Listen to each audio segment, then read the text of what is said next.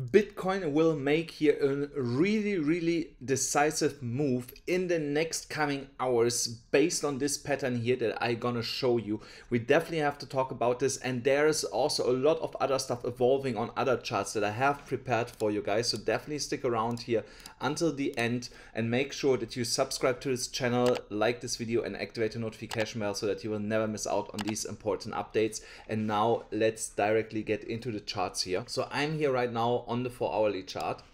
And what we can observe here is really interesting that we had here this parallel rising channel which we have broken to the downside exactly as I had also predicted it that we're going to break down to it and that we will potentially come here to this upward sloping support line and my bet was that we also going to break this line. I believe that we did not really break this line because uh, we had here also this um, horizontal support coming in at $16,700 and that was here overlapping with the upward sloping support line. So there was just too much support for the bears to actually break through that in the uh, in this attempt. But there could be still uh, the possibility that we're going to break this at a later stage and I will get to that in a second. So afterwards we saw here this um, pump here to the upside and I believe that this whole pump here is a massive massive bull trap exactly as the title is saying of this video so why do I believe that this is a bull trap? So first of all, we have here on the four hourly chart this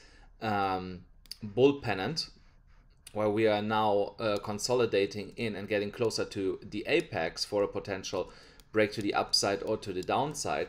So, but uh, one reason why I believe that we're gonna break it down is when I look at the stochastic RSI. So here we have already again a sell signal. So and you see here the way how this is here wobbling on the ground is the same what we did here. So which is not looking all too good, you know. So of course we can come out um, of there and do the same thing where stochastic I went here to the upside. So that's definitely possible, but I don't believe that this is going to happen. So another reason why I don't believe this is when I go here to the Bollinger Bands, where do I have them? So now if I zoom out a little bit, squeeze it a little bit together. So we are really close to the top of the Bollinger Bands here.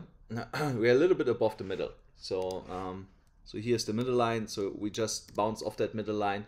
So we're just a little bit above the middle. So if I would draw here a line and say, okay, this is like the middle of the Bollinger Band and we're a little bit above the middle.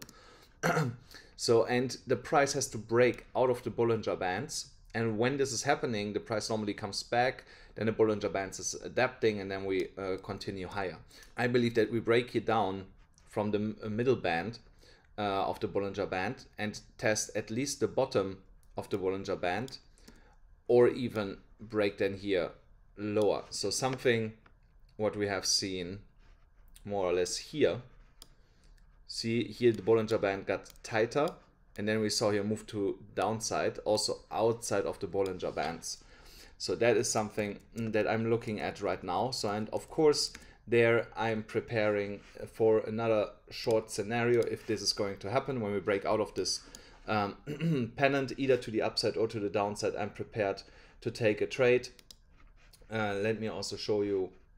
Um, so if we break here to the upside, this is now long. So then I would only long from $17,200 with stop loss just here at the bottom.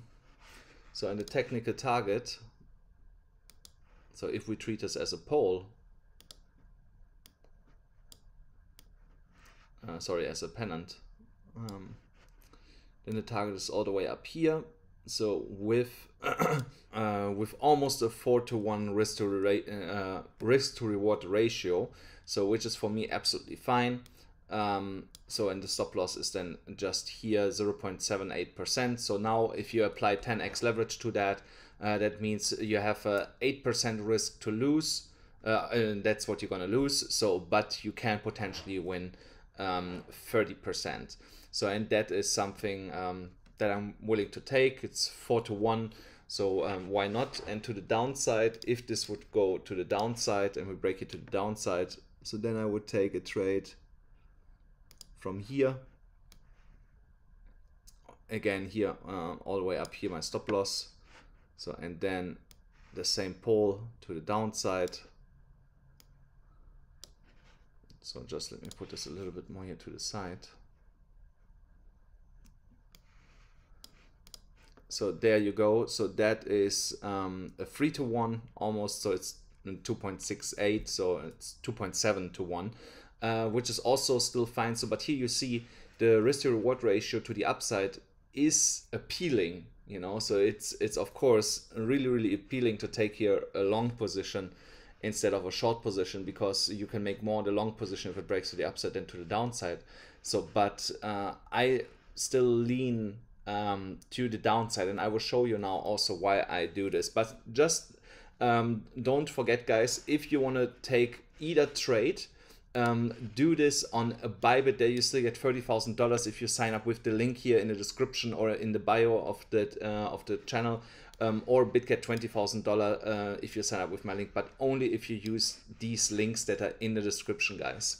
So now let's go to the next chart. So another reason why I, um, why I believe that this is a potential bull trap on um, in that specific case here here with the pennant when I go here to this four hourly chart we see we are also in a bigger rising wedge and we're just consolidating within that so of course we can break to the upside and touch the top of um, the rising wedge here again and then drop all the way down again to 17,000 until we actually break all the way down. And you see the target is around $16,000 for this rising wedge. So that's why I'm waiting right now um, for a decisive move. So we have to break above $17,400 um, for a bullish move to get here into higher levels. So, or we have to break $17,000 and also here the support zone of 16,900 to 16,750 to get a decisive move here um,